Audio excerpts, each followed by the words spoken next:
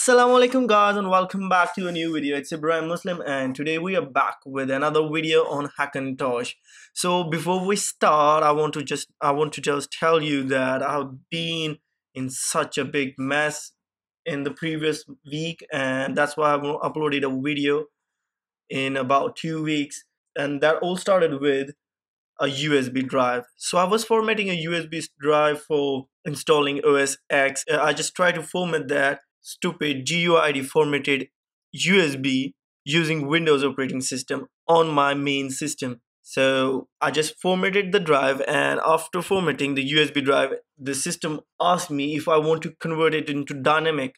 And I was just thinking that that, that thing will only convert my USB drive to the dynamic settings. And I was like, well, why not? Let's see what the dynamic will do with the USB drive and I just clicked yes and that stupid piece of shit the stupid Microsoft design formatted all of my hard drives. I got about five hard drives in my system. It converted all of my GUID based hard drives into that dynamic shit and just formatted all of my data. So that included about three terabytes of data. And look at this. Let me show you how much data I used to have. Like I used to have like about I got about 3 terabyte of total storage and I used to have about 2.2 or 2.4 terabyte of data.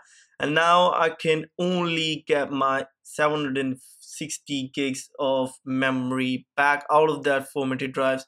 So it took me a lot of time to recover as much as I could. I lost about 20 30,000 photos. I was lucky to recover about 50,000 of my pictures, family pictures and stuff. But still, I got in such a big mess. So let's come back to the topic. And today this video is on how to get your Hackintosh booted up without your OS X installer USB drive. So there have been a couple of questions in the comments below that people can't boot without their USB and they can boot with their USB and how to boot without a USB and all that stuff related to that.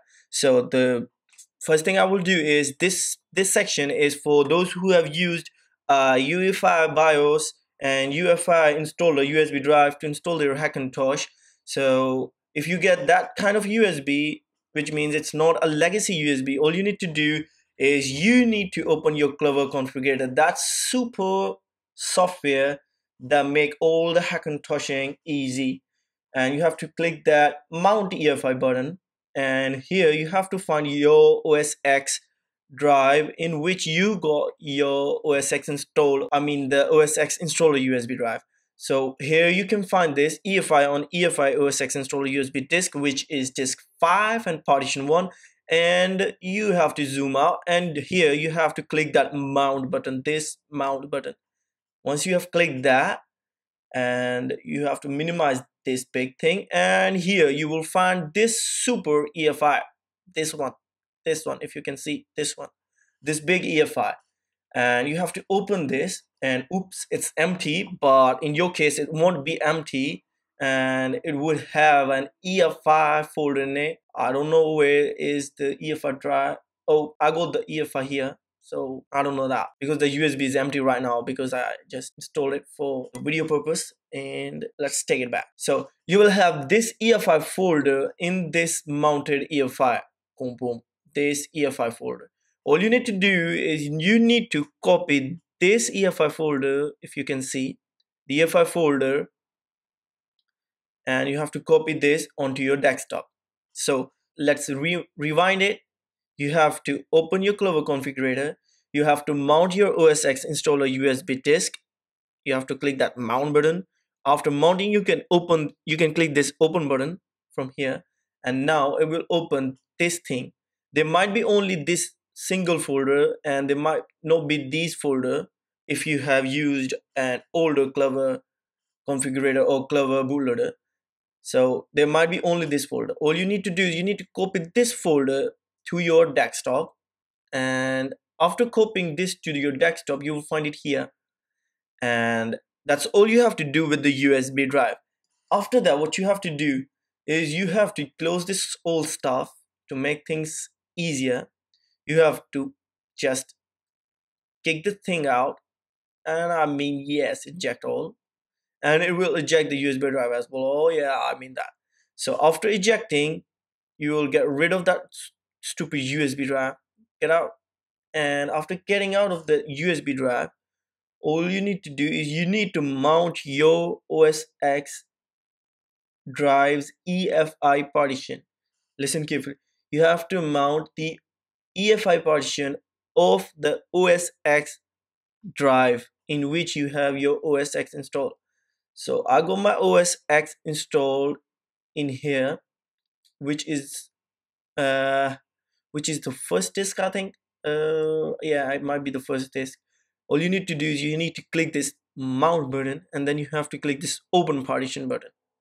And in your case this will be empty because there will be no EFI that's why you won't be able to boot into the OS X installer without a USB and to make that thing possible you all you need to do is you need to press you you need to right click on this and you need to copy and you have to paste that thing here.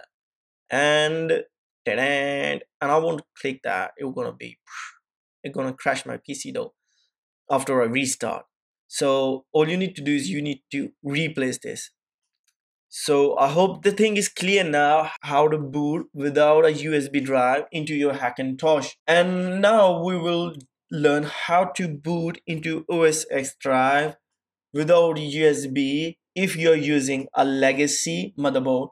So if you're on a on OS X Sierra, all you have to do is you have to open multi-beast 9.0.1 and you have to press enter.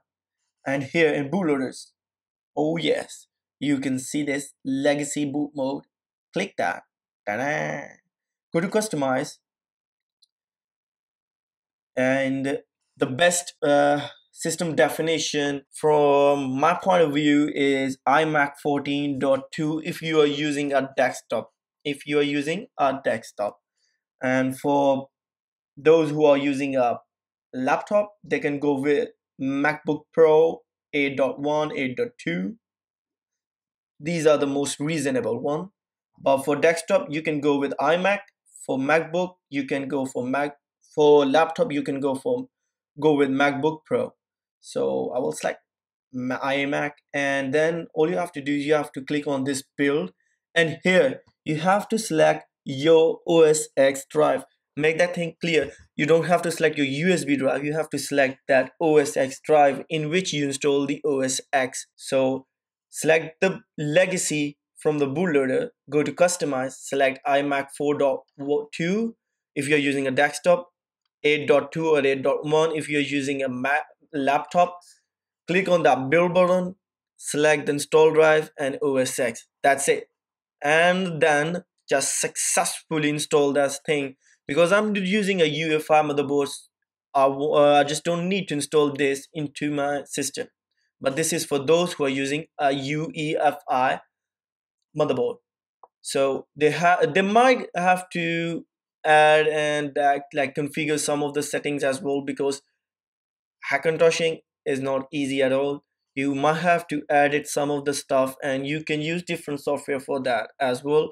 Let me know if you want to learn about that software as well. And here in the quick start you can get a hell of the settings in the start. Just click that and this thing might help you boot into your OS X straightforward. So that's all for this video guys. Thanks for watching. Hope you liked it. Hope you enjoyed it. If you have any question query please feel free to ask below. And please share the video like and subscribe. And i have checked lots of my statics. 95% of the viewers are those who haven't subscribed. I don't know people watch the videos so much but they don't subscribe. That's a kind of a curiosity in my mind but still i love you guys. Thanks for watching. Hope you liked it. Hope you enjoyed it. Until the very next video please take care. Allah hafiz